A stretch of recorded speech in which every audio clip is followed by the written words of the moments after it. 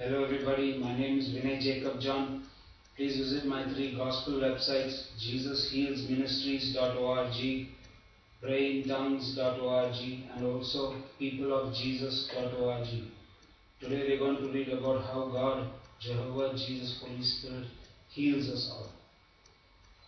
Exodus chapter 15 verse 26.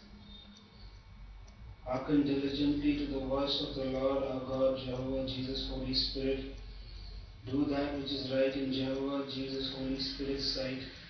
Give ear to Jehovah, Jesus, Holy Spirit's commandments, and keep all Jehovah's, Jesus, Holy Spirit's statutes. For I am the Lord Jehovah, Jesus, Holy Spirit, I heal you.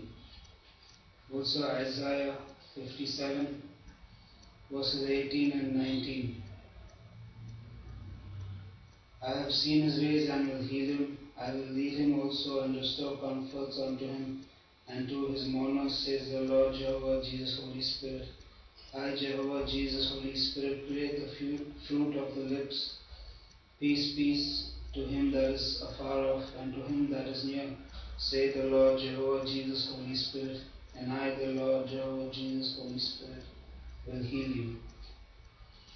And also 1 Peter chapter 2, verse 24 and 25.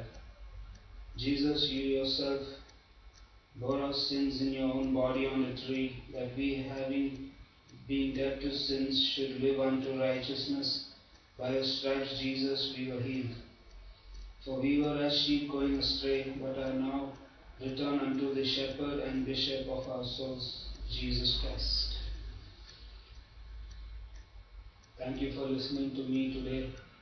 Jesus loves us all, Jesus heals us all, Jesus provides for us all, always. In the name of Jesus Christ of Nazareth, Amen.